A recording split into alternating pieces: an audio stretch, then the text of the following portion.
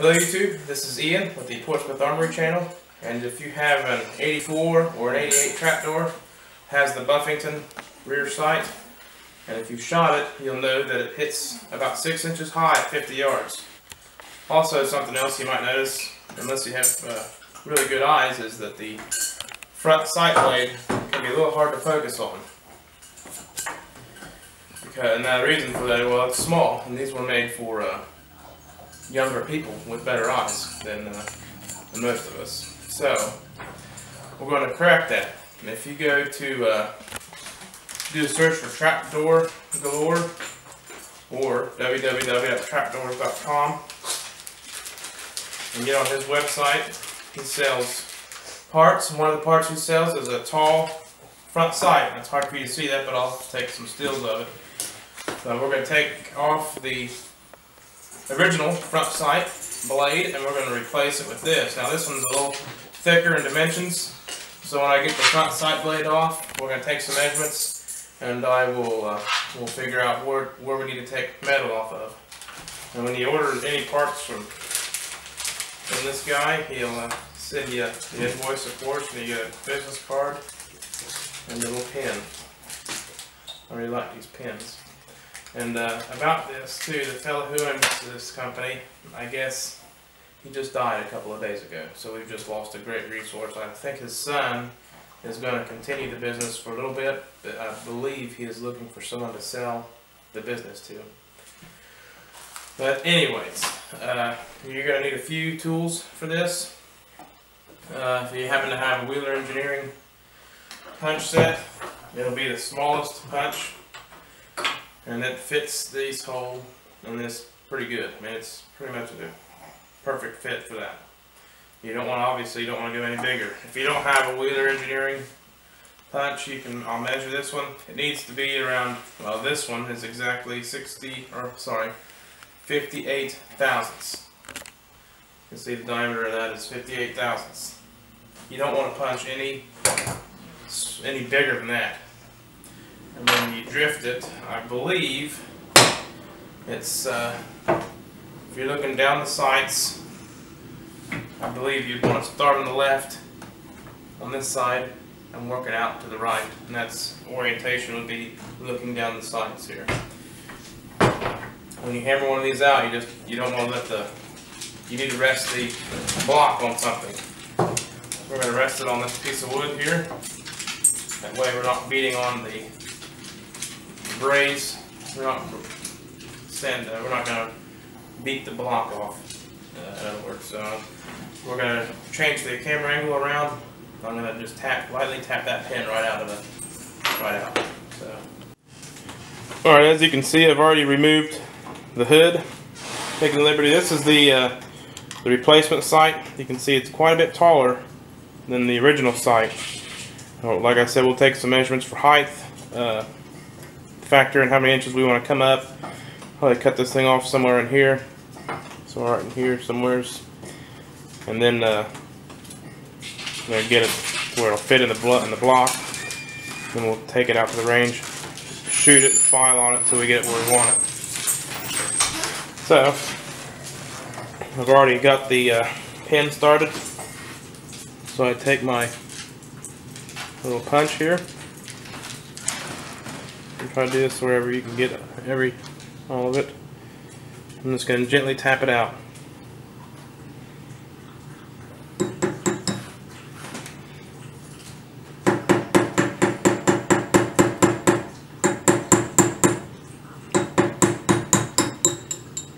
There we go. Now I can push it out the rest of the way. See if the, yep. There it fell out. There's the pin. Take that out.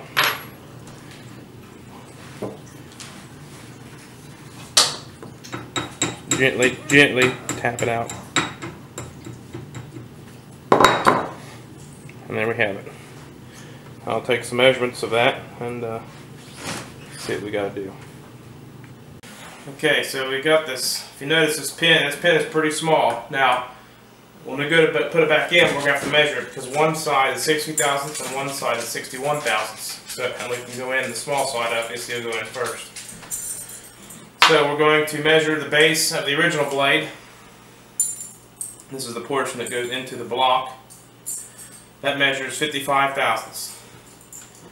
Now we're going to measure the base of the reproduction sight. That is 53 thousandths. So, because of that, this thing will slide in there pretty easily. Whereas the other one is a very snug fit. It actually kind of wobbles a little bit and I don't really care for that. So, well, what I'm going to do is I'm going to peen this sight and remove and move some material to make it a snug fit. Take my center punch here and just peen it.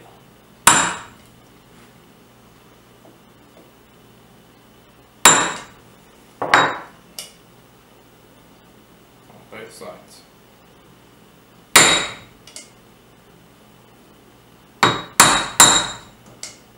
I should probably I have to go downstairs and do this on uh, my vise. But you get the idea. If you do that, we'll move material around. So I'm going to go peen this on my vise downstairs and I will be back. Alright, the next step, and you can do this before you peen it actually, I guess. I want to measure the distance from the hole. It's in the, the bottom of the hole in the original front sight to the bottom of the actual blade. So at that measurement, we've got about 23 and a half thousandths. Yeah, again. 23, 23 and a half thousandths, somewhere in there. So, when we measure this one,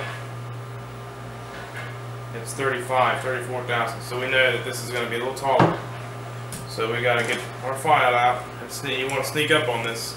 Just keep measuring it until you get it to the same depth as your original. Let's measure this. Taking off a little bit at a time, that's alright. Alright, so I've uh, got this down to 29 thousandths. Whereas this one, if you remember, was 23 and a half, 24, 23, somewhere in there. So when I got to there, I went ahead and put that in there, and since I already painted, I had to kind of hammer it in there, so maybe before you paint it, you should do this part of it. But anyways, I think I got it pretty close. I pushed it in there as far as I could, and I can see through the holes pretty good, so I'm going to leave it like this for now. Hopefully it won't take any more off it. But now I need to get the this width here the same as it is on this because if it's not this hood will not fit on it. So before we do that what we're going to do is we're going to cut it off.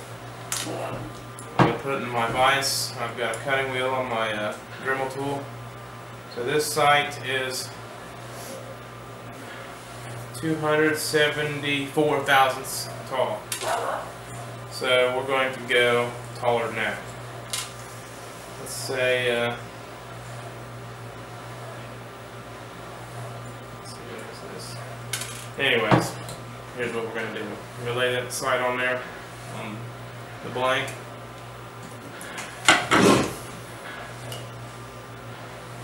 And then we'll scribe a line, and we're gonna cut it off.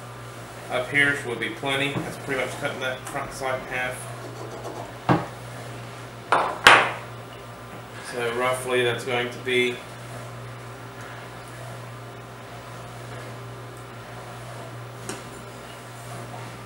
another 120 thousandths on top of it. Uh, so I'm going to go ahead and cut this and I'll come back to you. Alright YouTube, here's our, our new sight right here and uh, there's our old sight. This sight now is 155 thousandths of an inch taller than this one.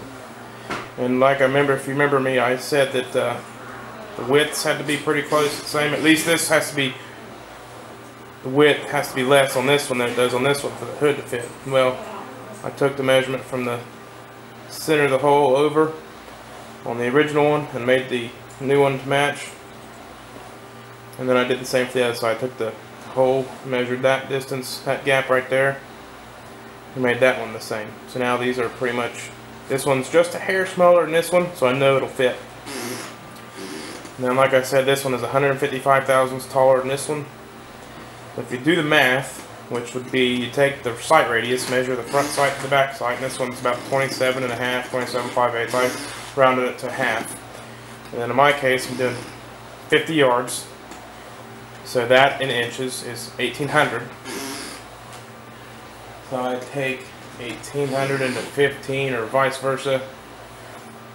1800 into 27 and a half, something like that. But it comes up to 15, right around 15 thousandths. 15, 1.0152. So that's how many thousandths I needed to move to make the impact one inch. What I'm trying to say is for every 15 thousandths of rise on this sight will equate to one inch at 50 yards. So being that this is 155 thousandths of an inch taller, it should strike 10 inches higher on the target than this one would when you aim it at the same spot. So, I think if I remember correctly, this one hits around 6 inches high. So this should hit 4 inches low, which may be good if I put the sight right on 200. So we're going to see if this will fit with the hood and everything. And if it does, I want to look through the rear sight and not see any of the hood, just see the tip of that front blade. So I'm going to reinstall this and then I'm going to see what it looks like with the hood on it. I'm trying to do this and look at the camera at the same time. I'm going to slide that blade in there. Get it in there. It's a little snug. So I'll just tap it in with my hammer. I mean just tap it. Tap, tap, tap, tap.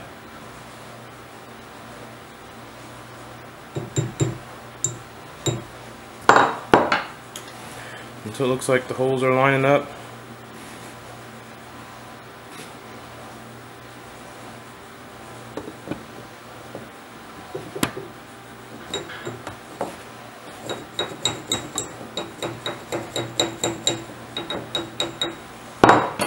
Should be using a brass hammer for this, but I don't, could not find it.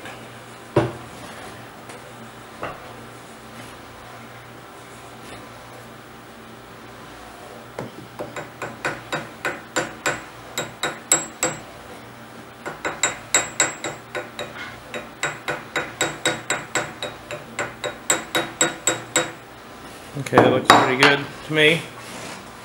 This little punch, we'll put it in first, since it is smaller. It will slide through that hole. It's smaller than the pin using. So we'll try to get it working just good. It's right here. I'm just doing this real gentle. Going. So I'm to have to do this off camera, so I'll come back to you. Alright, we got it in there. I did have to go back and get, or take some more metal off the bottom. Like I said, it was a little taller, but I thought it would work, but it didn't. So I ended up taking, taking the metal off I needed. Uh, and if you remember, I told you that one side of that pin is bigger than the other, just by a thousandth. But uh, so when you go to reinsert the pin, put the smaller end in first, of course. What I did was I used this punch to line it up. Then I put the pin in and used this brass. Hit it, drifted it in there. I'm going to put the hood on it we're going to see what it looks like. Alright, as you can see the hood fits. Now uh, it does interfere when I'm looking through the rear sight. I can see the hood through the rear sight. So before I uh, file anything though, I'm going to go to the range and shoot it. I'll take the hood off and see where it's hitting. And if it looks like I have plenty of room, I will file some down. Like I said, it should hit 10 inches higher than it was, so I, I can afford to lose 4 inches, which is about 60 thousandths, give or take, off that side, and that might be enough to where we can shoot it with the hood on and let it hit where we want it to. Otherwise, I'll just take the hood off whenever I shoot it, and which is no big deal either, because that, you look, our, uh, when we cleaned it, that pin was also a very tight fit so that front side is uh, it's solid. Slide that right off. As you can see, that sight it's doesn't budge. but it's it's on there real good, good and tight, as they say. So uh, we're gonna take her out to the range here in a couple days, get it zeroed, and uh, go from there.